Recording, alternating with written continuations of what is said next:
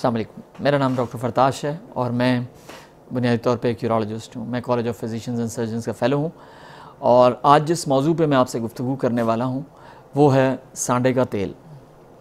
ये एक बड़ा दिलचस्प मौजू है और इससे एसोसिएटेड और भी मौजूद हैं जो मैं आपसे ज़िक्र और भी डिस्कस करूँगा। बिकॉज़ मुझसे इनके बारे में फ़्रीक्वेंटली सवाल किए जाते हैं, लिहाजा मैं आपको उस उस पर थोड़ी सी जो मेरे नाकस इल्म है, मैं उसके मुताबिक आपको थोड़ा गाइड करने की कोशिश करूँगा। लेकिन इससे पहले कि हम इस आज के चैनल के मौजू की तरफ़ बढ़ें, मेरा रिक्वेस्ट है कि आप मेरे चैनल को सब्सक्राइब और लाइक करें, ताकि मैं मज़ीद आपके लिए मालूमती वीडियोज़ ला सकूँ।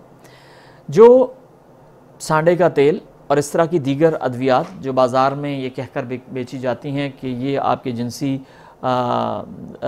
ताकत के लिए बड़ी अहम है और बहुत इंपॉर्टेंट हैं और आपको जिनसी ताकत मिलेगी इनसे। ये एक हमारी सोसाइटी में एक बहुत कॉमन ट्रेंड बन चुका है। आप दीवारों पे आमतौर पे इश्तहारात देखते हैं आपके फ़ोन पे एड्स आ रहे होते हैं आपको इंटरनेट पे अगर ब्राउज़ करें तो उस पर एड्स आ रहे होते हैं।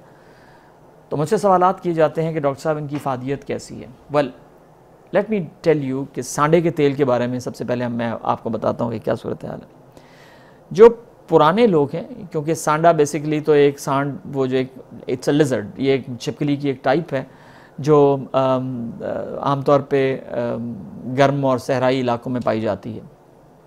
वहाँ से इसको पकड़ा जाता है, फिर इसके गोश्त जो है वो भी खाते हैं लोग, और उसको उसके बारे में कहा जाता है कि इट्स ये जिनसी तौर पे या मर्दाना कमज़ोरी को डील करने के लिए या उसके इलाज के लिए या मर्दाना क़वत बढ़ाने के लिए बड़ी इंपॉर्टेंट चीज़ है। साइंटिफिकली ऐसा कोई फैक्ट प्रूवन नहीं है। और जब तक साइंटिफिकली प्रूवन ना हो, मैं आपको कोई रिकमेंडेशन नहीं दूँगा। उसकी रीज़न ये है कि मैं जो भी आपसे बात करता हूँ, वो किसी साइंटिफिक बेसिस पे कर रहा हूँ। And not without a scientific base लिहाजा जितनी अद्वियात आपको बाज़ार में मिलती हैं या बाज़ार में वो एडवर्टाइज़ की जाती हैं, ये कहकर के आपकी जिनसी ताकत बढ़ाएँगी। जब तक वो साइंटिफिकली प्रूवन ना हो, मैं अपने किसी मरीज़ को वो रिकमेंड नहीं कर सकता। हाँ मैं ये ज़रूर जानता हूँ कि सांडा जिसको आप वहाँ से पकड़ के लेके आ रहे हैं, या वो लेज़र्ड जिसको आप, या वो छिपकली जिसको आप पकड़ के लेके आ रहे हैं, वो जिन हालात में यहाँ रखी जाती है और जिन तरीके से उस पर उस जानवर बेचारे पे जुल्म किया जाता है जिनसी ताकत के नाम पे वो इट्सल्फ एक एक बुरी चीज़ है। लेकिन जहाँ तक उसकी जिनसी फादियत का ताल्लुक है वो साइंटिफिकली कोई प्रूवन फैक्ट नहीं है।